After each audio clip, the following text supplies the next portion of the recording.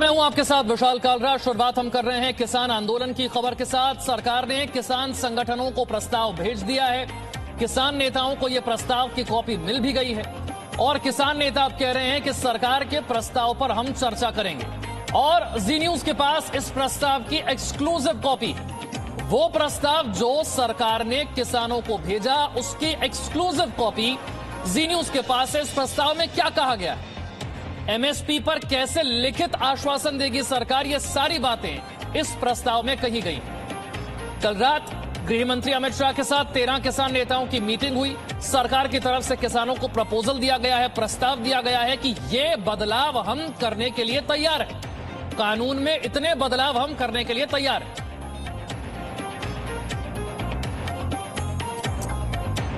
और आपको किसान की अब आशंका और सरकार ने इस पर प्रस्ताव क्या भेजा है? इसे एक एक कर समझा देते हैं ताकि किसानों की जो आशंका है वो दूर हो जाए। किसानों को आशंका क्या है? डर क्या है? उनका डर यह है कि न्यूनतम समर्थन मूल्य यानी कि एमएसपी जो अब तक उन्हें मिल रहा था, वो नए कानून से खत्म नहीं, खत्म तो नहीं हो जाएगा।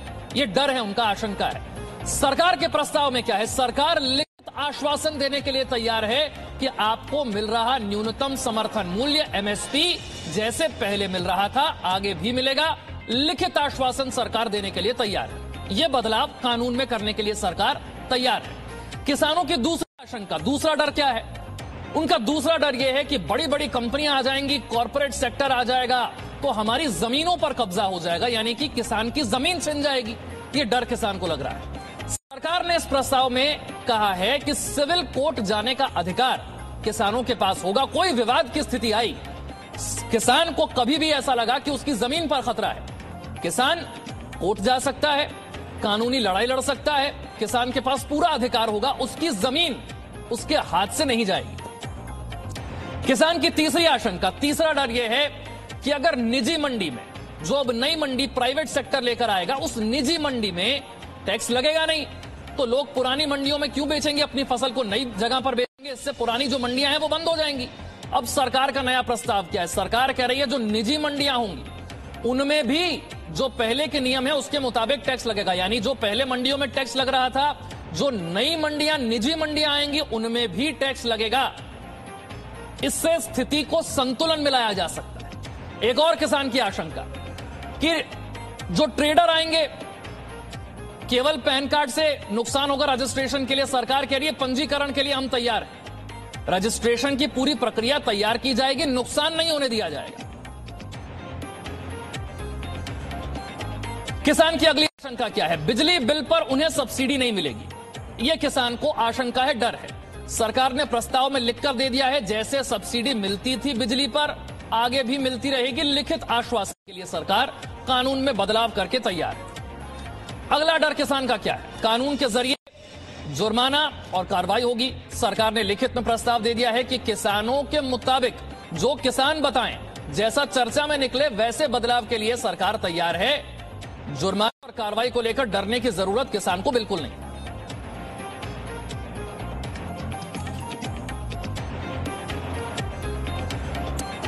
हमारे दो सहयोगी इस वक्त हमारे साथ जुड़ रहे हैं। दिल्ली नोएडा बॉर्डर से रूफी जैदी मेरे साथ है, राजू राज जो है वो यूपी गेट से मेरे साथ है। राजू, देखिए, क्या बदलाव करने के लिए सरकार तैयार है? क्या संशोधन के लिए सरकार तैयार है? ये हमने सब बता दिया। अब जरा किसान वहाँ पर है, उनसे पूछिए। इससे अलग, इससे ज़्यादा भी क्या वो कुछ चाहते हैं? या इस प्रपोजल के साथ वो तैयार है अब आंदोलन खत्म करने के लिए? निश्चित तौर पर विशाल हमारे साथ कई किसान हैं उनसे बात करते हैं राष्ट्रीय प्रदेश उपाध्यक्ष भी हैं राजेश चौहान हैं इनके साथ बात करते हैं। सर सरकार ने अपना प्रस्ताव दे दिया आपकी मांगों को लेकर। इसके अलावा भी आपके मन में क्या है? देखिए जो सरकार ने प्रस्ताव रखा है नीत और नियत दोनों उन प्रस्तावों से प्रदर्शित होती है। ना सरकार की नीत सही है और नियत भी सही है। जैसे जीटी पे उन्होंने कहा, हमको कोर्ट कचहरी के चक्कर में क्यों फंसा रहे हो? हम भोला किसान, अपना अनाज पैदा किया हुआ तो हम बेच नहीं पाते। तो हम इन कारपोरेट जगत के चंगुल में क्यों फंसाते हो? कोर्ट कचहरी में हमें क्यों ले जाने की बात करते हो? हमें ऐसा कानून मत दो जिससे कि इस किसान को कोर्ट कचहरी के चक्कर लगाने पड़े। हम अपनी खेती अपना व्यवसाय, अपना काम धंधा में बिज़ी रहते हैं। हमको ही करने दो। एमएसपी पे उन्होंने गोलमोल कह दिया। एमएसपी में टिकैत साहब ने, हम सबने ये कहा कि एमएसपी में ये हमारी मांग है कि एमएसपी का जो सरकार का रेट तय हो, वो चाहे आड़ती खरीदे, चाहे बड़ा व्यापारी खरीदे, चाहे छोटा किसान खरीदे चाहे छोटा दुकानदार खरीदे चाहे छोटा दुकानदार बेचे चाहे कोई भी रेट जो सरकार का निर्धारित हो किसान का जो पैदा किया हुआ अनाज है उसी रेट में बाहर बिके। किसान की मर्ज़ी जो भी मंडी चाहे दिखाए मगर रेट हमको ही मिले। सरकारी क्रय केंद्र में दूसरा रेट है दुकान में दूसरा रेट है मिलर के पास तीसरा रेट है। क्या क्या विकल्प क्या है? विकल्प ये है कि कानून ये पूरी तरह वापस लिया जाए और किसानों के साथ बैठ के सरकार चर्चा चर्चा करे किसान के जो हित में हो। जो बात हुई है जो मांगे रखी उसी को सरकार ने प्रस्ताव के रूप में आपके पास भेजा है जिस पर आपके नेता चर्चा कर रहे हैं। अगर प्रस्ताव से बात बन पाएगी क्या? देखो जो सरकार ने प्रस्ताव भेजा है ना वो प्रस्ताव सब शब्दों का हेरफेर है। प्रस्ताव कोई क्लियर नहीं है। न एमएसपी पर सरकार ने कुछ क्लियर किया न एनजीटी पराली पे कोई क्लियर किया? कोर्ट, कचहरी को तो हम बिल्कुल स्वीकार ही नहीं पराली पराली पर भी बात करते हैं। हमारे साथ युवा किसान नेता भी हैं। ये लगातार पराली को लेकर आवाज़ उठा रहे हैं। पराली को लेकर सरकार ने जो गतिरोध था, उसे खत्म करने की कोशिश की है। सरकार ने पराली पे कोई गतिरोध खत्म करने की बात नहीं की है। सरकार कह रही है कि हम उचित व्यवस्था बनाएँगे पराली को लेके। पराली पे उचित व्यवस्था नहीं बनानी है। पराली के लिए नियम बनाना है और इसको पराली का जो नियम ये लाए, इसको वापस करना है। किसान एक गड्डी पताई अपने खेत में फूंकता है तो उसको एनजीटी सैटेलाइट से देख लेती है एफ़ होती है और जुर्माना इक्कीस हज़ार से इकतीस हज़ार तक होता है। जिला बुलंदशहर हो, कहीं भी हो, ऐसी प्रक्रिया चल रही है और इतनी सारे दिल्ली के आसपास बुलंदशहर गाजियाबाद हापुड़। की तरफ़ से क्या आइडिया है? ये आइडिया है कि जो पराली है पराली तो जब किसान अपनी फ़सल काटेगा तो पराली तो जलाई जाएगी पताई पत्ती जलाई जाएगी धान काटेगा वो भी जलाई जाएगी। इसमें कोई भी इसको जो है बिल्कुल खत्म किया जाए इसमें कोई जुर्माना ना किया जाए बड़ा इकतीस हज़ार रुपये कहाँ से देगा? लेकर जुर्माना नहीं किया जाए पराली को लेकर भी सरकार ने प्रस्ताव में बात रखी है उचित व्यवस्था की जाएगी पराली को लेकर। पराली में कानून, पराली का ना कभी प्रदूषण बढ़ता है, ना वो करता। पराली के लिए कोई सरकार केमिकल ईजाद करे।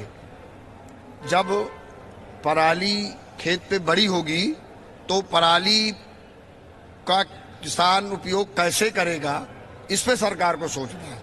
पराली किसी केमिकल के द्वारा नष्ट की जाए। बिजली बिल को लेकर भी एक सब्सिडी की बात लगातार कर रही थी। सरकार, आप लोग के मन में डर था कि सब्सिडी खत्म हो जाएगा। लेकिन सरकार ने अपने प्रस्ताव में साफ़ तौर पर कहा है कि सब्सिडी यथावत रहेगी जो पहले से चली आ रही है, जो व्यवस्था। बिजली में कोई सब्सिडी नहीं है। बिजली एक देश, एक रेट हरियाणा में दूसरा, उत्तराखंड में दूसरा, पंजाब में फ्री, उत्तर प्रदेश में दस गुने महँगी बिजली एक देश एक बिजली का रेट। या तो फ्री करना है तो पूरे देश को फ्री करो। हमारी मांग है कि बिजली मेन किसान की रीढ़ की हड्डी है। उससे फ्री ही करे सरकार। ठीक है यहाँ पर किसान राज़ी नज़र नहीं आ रहे हैं। मैं राजू राज आपके पास लौटूँगा। दिल्ली नोएडा बॉर्डर पर इस वक्त रूफी जैदी है मेरे साथ। रूफी जरा पूछिए किसानों ने किसानों के पास प्रस्ताव पहुँच गया है प्रस्ताव पर चर्चा हो रही है क्या इन बातों को किसान अब मानने के लिए तैयार हैं जो प्रस्ताव सरकार ने दिए हैं? हो तो आप लोगों के पास प्रस्ताव पहुँच गया है प्रस्ताव पर चर्चा हो रही है। सरकार ने जो बदलाव प्रस्ताव में प्रपोज किए हैं उन पर अब मान जाएँगे आप लोग? नहीं। एक भी प्रस्ताव किसान के फेवर का नहीं है। ये तो ऐसे प्रस्ताव हैं मुँह पे पानी लगा दिया। लेकिन एमएसपी की गारंटी दे उससे- उससे क्या पेट भर जाएगा? एमएचपी आज भी है। एमएचपी की कानून बनाए। एमएचपी कानून बनाए। एमएचपी से नीचे कोई खरीदा। है अच्छा आपकी जो शंकाएँ थी कि ज़मीन चली जाएगी जुर्माना लग जाएगा। उन सबको तो क्लैरिफाई कर दिया सरकार ने अब कि ऐसा कुछ नहीं होगा किसान को डरने की परेशान होने की ज़रूरत नहीं है। और अगर आपको और भी कोई स्पष्टीकरण चाहिए किसी और मामले में तो वो भी सरकार दे देगी। हमको सबसे पहले चाहिए किसान आयोग। जैसे महिला आयोग बना हुआ है दलित आयोग बना हुआ है ऐसे किसान आयोग भी बने। उसमें टोटल मेंबर्स किसान हो प्योर। वही रेट तय करें। सरकार उसे ही एमएसपी बनावे। प्रस्ताव पे बात बनेगी? नहीं प्रस्ताव नहीं हम चाह रहे हैं जो कह रहे हैं। आपको क्यों पसंद नहीं आया प्रस्ताव? उसमें तो आपके हित की काफ़ी बातें हैं। मैं दो बात करूँगा। रात इन्होंने फूट डालने की कोशिश करी थी हमारे तीन पंद्रह पंद्रह आदमी बुलाए आज होनी थी बात। उसके बाद में माननीय कृषि मंत्री कह रहे थे कि ये तो पचपन साल से चल रही है लिखित में नहीं देंगे हम। क्यों लिखित में नहीं देंगे आप? लेकिन अब तो प्रस्ताव में कहा है कि दे रहे हैं। केवल लिखित से कानून बनाए। जो इससे नीचे खरीदे जेल जाए। अब तो आपके पास कोर्ट जाने का अधिकार भी है, जो नया प्रस्ताव है उसके मुताबिक ये भी क्लियर किया गया है कि किसान की ज़मीन कहीं नहीं जाएगी। सिर्फ़ पैन कार्ड के आधार पर चीज़ें नहीं होंगी, उसको पंजीकरण भी कराना ज़रूरी होगा। तो अब तो प्रपोजल पर बात बन सकती है। नहीं, पंजीकरण तो पहले भी था। मंडी में जो आढ़ेती बैठा है, क्या वो बिना पंजीकरण के बैठा है? असल बात क्या है, ये दिशा भटकाने का काम कर रहे हैं। प्रपोजल में आपको लग, नहीं लग रहा कुछ प्रपोजल क्यों देती है सरकार? किस लिए सरकार ने प्रपोजल दिया है? प्रपोजल की ज़रूरत नहीं है। ज़रूरत है किसान के अस्तित्व को जीवित रखने की। ज़रूरत है आम जनों के हितों की सुरक्षा की। ज़रूरत है आने वाले पीढ़ियों के पेट के सवाल की। ये दूसरा काम कर रहे हैं। ये तो भ्रम फैला रहे हैं। ये कह रहे हैं किसान को बदनाम करने के लिए किसान को भ्रमित करने के लिए आम ठीक है जनता आपने ने देखा चाहे के लिए यूपी गेट पर हो तो दिल्ली नोएडा बॉर्डर पर हो जो किसान यहाँ पर तो जमे हुए हैं आंदोलन कर रहे हैं उनका कहना है प्रपोजल जो प्रस्ताव सरकार ने दिया है वो उसको मंजूर नहीं कर रहे हैं। वो उन्हें मंजूर नहीं है। तीनों कानून वापस लेने की जिद पर अड़े हुए हैं। अब किसान आंदोलन से जुड़ी हुए 10 अहम पड़ाव ये 10 अहम तस्वीरें बता रही हैं। कैसे पिछले 14 दिनों में पाँच दौर की बातचीत हो चुकी है? आज छठे दौर की बातचीत होनी थी, उसे टाल दिया गया है। पहले दौर की बातचीत की तस्वीर, फिर दूसरा दौर, फिर बीजेपी के अध्यक्ष जेपी नड्डा के घर पर बैठक, तीसरे दौर की बात, चौथे दौर की बात, प्रधानमंत्री के साथ अहम बैठक, पाँचवें दौर की बातचीत होती है। भारत बंद बुलाया जाता है गृह मंत्री के साथ बैठक होती है। किसानों की जिद की वो तस्वीर जहाँ वो कहते हैं, यस या नो में जवाब दीजिए। ये दस अहम तस्वीरें किसान आंदोलन की पूरी कहानी अब तक की बयां कर रही हैं। एक बार फिर से राजू राज का रुख करते राजू तो अब क्या माना जाए? यहाँ से आगे का रास्ता क्या है? सरकार तो झुकने के लिए तैयार हुई संशोधन के लिए तैयार हुई लेकिन किसान तो बिल्कुल तैयार नहीं है मानने के लिए।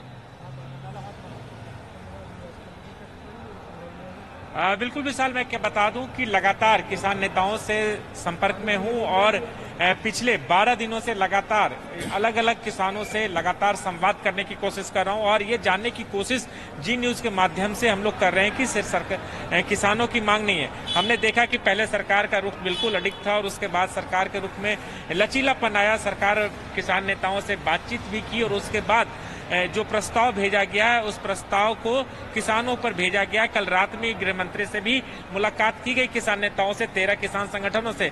लेकिन अब जो प्रस्ताव दिया गया है, उस पर शायद मंथन चल रहा है। मंथन के बाद तमाम किसान संगठन 40 से ज़्यादा किसान संगठन है जो मंथन कर रहे हैं इसको लेकर। उस पर बात बनती है कि नहीं है, इस पर तमाम किसान हमारे साथ हैं, उनसे बात करते हैं। सरकार प्रस्ताव के लिए लचीलापन रुख अपनाया है बातचीत की है, प्रस्ताव भी भेजा ताकि एक रास्ता निकल सके, एक नतीजे पे पहुँच सके।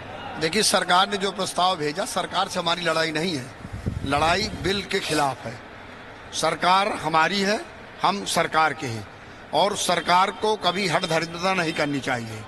हम किसानों से बैठ कर के पुनः इस बिल को वापस लो और किसानों के साथ बैठ कर के पूरी तरह हमारी बात को सुनो और हमारे जो फ़ायदे हैं, आम हिंदुस्तान का किसान को कैसे आराम दिया जा सकता है, उन चीज़ों को लो हमसे। और बिल खूब खूब बिल बनाओ, मगर वो किसान के हित में हो। कारपोरेट जगत के हित में आप बिल बनाओगे कारपोरेट जगत को आप मज़बूत करना चाहोगे तो ये किसान देश का बर्दाश्त नहीं करेगा। सर जो शंकाएँ आशंकाएँ उसको लेकर तो प्रस्ताव दिया गया है। नहीं वो वो शंका शंकाओं पे हमने जो प्रस्ताव दिया है उसमें सरकार ने शब्दों का हेर फेर करके चलिए ठीक है किसानों का कहना है कि शब्दों का हेरफेर किया जा रहा है उनकी मांगों को माना नहीं जा रहा है ये प्रस्ताव उन्हें मंजूर नहीं है। लेकिन जो बड़ी खबर इस वक्त की किसान आंदोलन को लेकर है, वो ये है कि अब से कुछ देर के बाद, यानी कि शाम पाँच बजे, राष्ट्रपति से मिलने वाले हैं विपक्षी दलों के नेता, जिनमें शरद पवार भी हैं, राहुल गांधी भी हैं, सीताराम येचुरी भी होंगे, डी राजा भी होंगे। तो विपक्षी दलों के ये नेता राष्ट्रपति से मिलने जा रहे हैं, किसान जो आंदोलन कर रहा है, किसान की जो मांगे हैं, उन्हें एक बार फिर राष्ट्रपति के सामने रखा जाएगा। ये आप देख रहे हैं कौन कौन से नेता राष्ट्रपति से मुलाकात करेंगे शाम पाँच बजे। शरद पवार राहुल गांधी सीताराम येचुरी डी, राजा। किसान की मांगों को लेकर एक बार फिर राष्ट्रपति से मुलाकात करने विपक्षी दलों के नेता पहुँचेंगे। आपको याद होगा जिस वक्त ये कानून संसद में लाए गए थे जब इन पर चर्चा हो रही राज्यसभा में किस तरह का हंगामा हुआ था वो तस्वीरें आप भूले नहीं होंगे। एक बार फिर से रूफे का रुख करते हैं और समझने की कोशिश करते हैं किसान क्या चाहते हैं? इन प्रस्तावों के इतर इन संशोधनों से ज़्यादा किसानों की मांग अब क्या है? मैं रूफी के पास जाऊँ उससे पहले मैं राजू के पास जाऊँगा। राजू अपनी बात पूरी कीजिएगा जो बात किसान कह रहे थे। इससे ज़्यादा और क्या? ये क्यों उन्हें लगता है कि ये शब्दों का हेर फेर है? बिल्कुल विशाल आपको ऐसा क्यों लगता है कि ये शब्दों का खेल है? इस प्रस्ताव के अलावा आगे क्या हो सकता है? देखिए जो प्रस्ताव भी हमारे सामने आया उस प्रस्ताव को मैंने पढ़ा। पढ़ने के बाद एनजीटी एनजीटी के लिए भी उन्होंने क्लियर नहीं किया। दो अक्टूबर 18 में भी इन्होंने एनजीटी पे हमारे ट्रैक्टर 15 साल पुराने 10 साल पुराने डीजल इंजन पे इन्होंने रोक लगाई थी। उस पर आज तक इन्होंने कुछ नहीं किया। एनजीटी के लिए साफ़ शब्दों में आप पढ़िए कि हम इस पर विचार करेंगे। एनजीटी के सामने रखेंगे, ना कि इसे खत्म करेंगे। जो एमएसपी की बात उन्होंने कही एमएसपी को उन्होंने कहा, हम प्रॉमिस करते हैं कि एमएसपी रखेंगे। अरे भाई एमएसपी तो है। मगर एमएसपी पे अठारह सौ अड़सठ रुपए का धान नौ सौ रुपए में कैसे बिक रहा है? अगर एमएसपी है तो उस पर कानून बनाओ। कानून ये होना चाहिए कि जो सरकार द्वारा निर्धारित एमएसपी है, उस एमएसपी के नीचे कोई भी व्यक्ति खरीदेगा तो उसे तीन बटे सात जो आपने खत्म किया है, तीन बटे सात को लागू करके उसके तहत कानूनी कार्रवाई करके। ठीक है किसानों किसान का कहना है कि एमएसपी जारी रहेगा इतना काफ़ी नहीं है कहना। कानून बनना चाहिए कि एमएसपी से नीचे किसान की फ़सल कोई नहीं खरीद सकता खरीदेगा तो कानूनी कार्रवाई होगी।